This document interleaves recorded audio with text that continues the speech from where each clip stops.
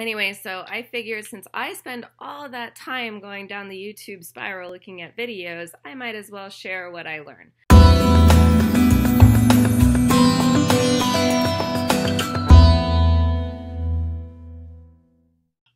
Hey you guys, welcome back to my channel, or if you're new here, welcome to my channel. I typically do weight loss updates, and um, so I have a quick weight loss update. I did lose one more pound. I weighed in this morning. I weigh myself every day. I weighed in this morning and I was 163, down from 164. So that is officially eight more pounds to my goal weight. Um, so that's very exciting. My goal weight's 155 by my wedding, which is two months from today. Ah, um, it's very exciting. Um, I also do um, my videos on you know mental health and feeling good about yourself, and that involves um, beauty products sometimes for me. I wanted to do a recommendation and a review on um, these this base coat and top coat for nails.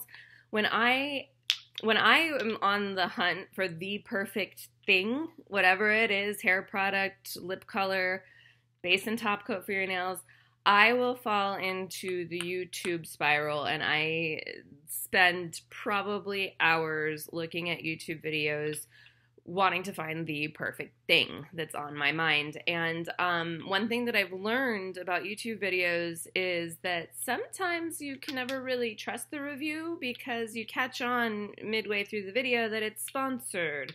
Um, so they have been paid to do a review, so they are going to be biased toward the money they're making on the review. Um, more power to them. If anybody wants to pay me for a review, I will make it clear up front that it's sponsored. But this is not sponsored. I am not that big of a YouTuber. Um, anyway, so I figured since I spend all that time going down the YouTube spiral looking at videos, I might as well share what I learn. Um, so I am a big fan of doing my own nails. Um, I have stopped going to the salon for manicures. Number one reason is because I can't justify spending $30 to have someone paint my nails. Number two, I also um, have noticed uh, more and more lately that they really just destroy your nails when you get your nails done, especially if you're getting a gel manicure. But regardless, they use these, you know, motorized things to file down the top of your nails. It just, it's really, really, I, I think it's really bad for your nails, my nails in particular, because I'm me. But anyway, so um, I dislike that. Um, I have really naturally, I'm lucky enough, I have really naturally strong nails. These are my natural nails, my real nails.